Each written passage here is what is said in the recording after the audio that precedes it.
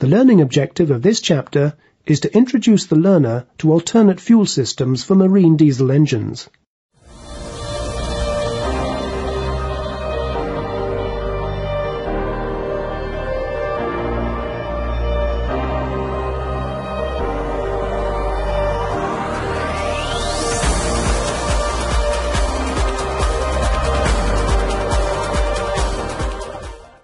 In the previous chapter, we have looked at the conventional fuel systems for diesel engines and considered some of the more common variations that have evolved, such as variable injection timing.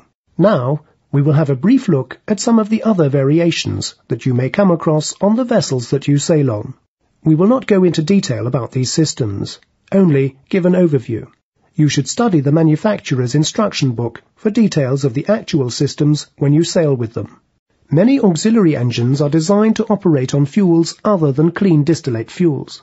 Residual fuels are, however, not always suitable, particularly when running on low load due to ignition and combustion quality issues. A number of inline fuel blending systems have been developed which allow diesel engines to operate on a mixture of distillate and residual fuel, while avoiding the storage problems sometimes encountered with fuel mixtures. The temperature controller controls the supply of steam to the heater to maintain a constant temperature independent of the viscosity or blend ratio.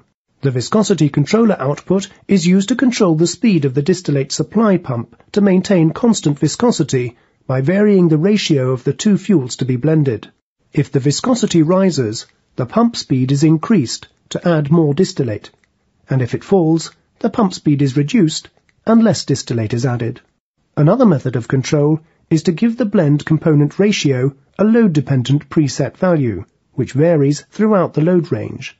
At any given load, the blend ratio is fixed and the viscosity is maintained at a preset value by varying the temperature of the mixture. The temperature will be low for blends with a high percentage of distillate when the engine operates on low load, and high when it operates on high loads with only a small percentage of distillate in the blend. Inline blending can also be used to control the fuel's sulfur content by mixing high and low sulfur fuels to obtain the desired sulfur content of the blended product. In order to overcome ignition delay problems with fuels that also have poor combustion quality that may result in a low and late peak pressure, some systems are designed with pilot injection.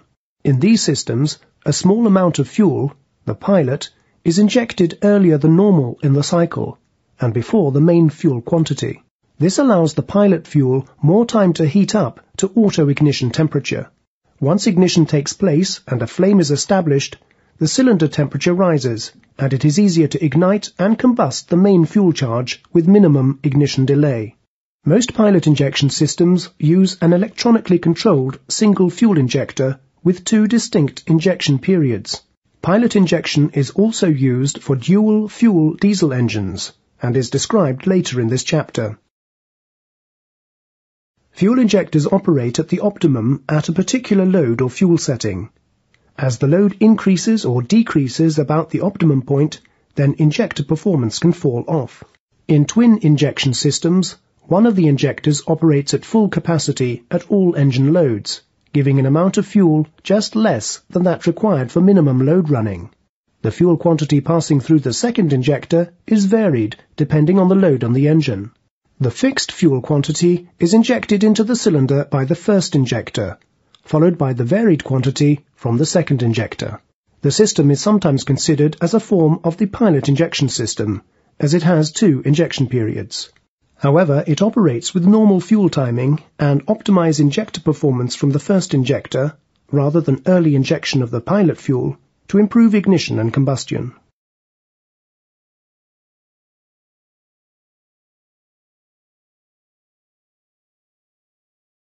The rapid increase in LNG trade by sea has brought with it an urgency to develop dual fuel systems for diesel engines which allow the boil-off gas from the cargo to be used as fuel.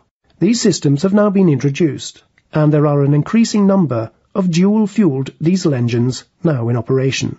The dual fuel system is electronically controlled, with the facility to operate on either gas from the cargo boil-off or fuel oil.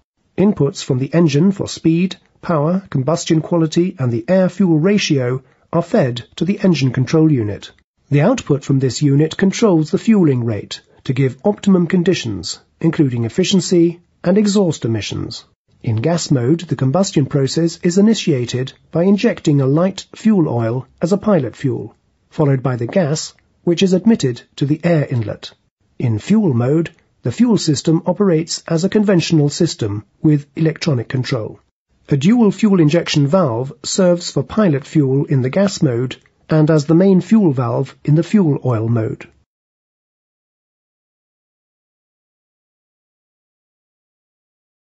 The use of fuel emulsions has been reintroduced in some recent engine designs as one method of reducing the NOx level in exhaust emissions.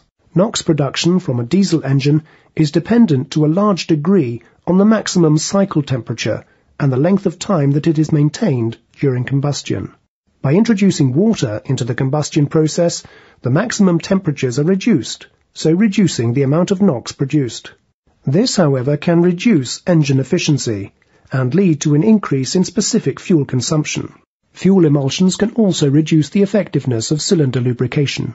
One side effect of using emulsions with very poor quality heavy fuel oils is that the water in the emulsion flashes off into steam in the engine cylinder. The rapid increase in volume during this change of state can aid atomization and improve combustion efficiency. We have seen in this chapter that developments in diesel engine fuel systems are usually driven by commercial pressures, the quality of the fuel, and or by environmental concerns. We have looked briefly at a number of developments, all of which you may come across on vessels that you sail on in the future. You should always use the engine manuals provided on board to get specific details about the systems that you sail with. Try the questions in the following self-test to check your understanding so far.